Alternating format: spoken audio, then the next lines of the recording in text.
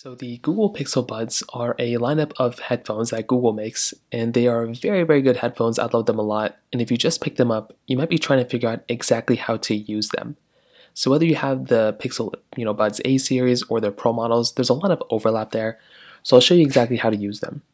Now, starting off with the outside, you do get this exterior case. You have this LED light at the front side, and this case allows you to charge your headphones right when they're, you know, within here. So it's super convenient. I love having this case because it just allows you to charge it up. You have nothing on the sides, there's just the LED light. On the bottom, you do have your USB Type-C port, which allows you to charge up your headphones. You have this little speaker grill if you have the Pro models, which allows you to you know, hear sounds and stuff from your case.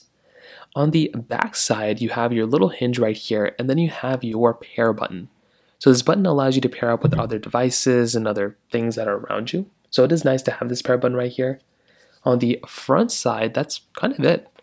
Then you are able to open up this clasp at the very front by just popping it open like this. Then you have your headphones right here. Now your headphones, you can take them out like this. They will magnetically, you know, magnetically clasp into place right here. When they're in the case, you know, the right way, you can shut the case. If they're not in it the right way, you won't be able to shut the case. So keep that in mind. They will magnetically, you know, kind of go in like this with the headphone out and the G logo kind of looking at you right there. Now, if you take them out, you can put them in your ear. They're just like normal headphones. You know, they have different syncing buttons you can kind of mess around with too.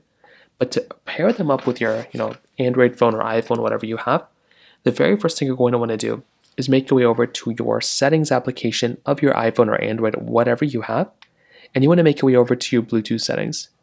So go into connected devices, and all you're going to want to do here is you want to hold down this pair button on the back of your headphones. So hold down this button right here, and it's going to start blinking this white light at the very front. When that happens, you should be able to see these headphones come up inside of your Pixel Buds right here, inside of your Android or iPhone, whatever you have. Or if you have a uh, Google Pixel, the pop-up will come up automatically at the very bottom. From there, you can go and connect them in, and that's basically all you're going to have to do. From here, you can also see your battery life, your you know how much your battery, you know, uh, your headphones in here, like the battery life they have in there too. And you can go through and follow these on-screen instructions to go ahead and kind of configure out your headphones even more that you want to. So from there, that's kind of all you have to do. Now, you can make your way over to your settings application of your Android phone and click on settings here, and you can customize a lot of things within your Google Pixel Buds. So you can go through here and you can see the battery percentage of your particular headphones. You can turn on or off active noise cancellation, your digital assist assistant, audio device type, so many things here. So you can kind of configure that whichever way you want to. So that is a really nice thing to have here too. Now on top of that, with your headphones themselves, well, once you go ahead and pop them out and put them in your ear, you can kind of, you know, change out these specific ear tips too if you want to. So if you look inside of them, you can see that there's like a little plastic case inside.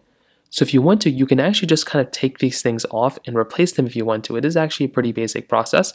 So you have the option of kind of replacing these plastic tips if you want to. You can then go through and put these in your ear. Now the tips of them do have some functionality. So if you ever want to pause a song while these things are in your ear, you can actually just tap onto this plastic part right here, and that will go ahead and pause the song.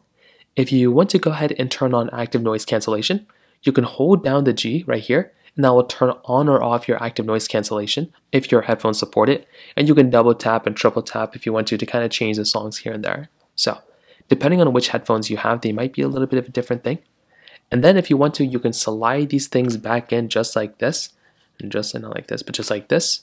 And you'll see that the headphones are in like this, and you can shut these things off, and these things will then charge in the case.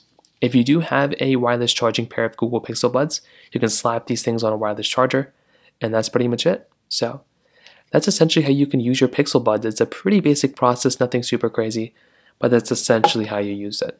If you have any other thoughts or questions, please let me know in the comment section below. Hit the like button, that would mean so much, but definitely hit that subscribe button.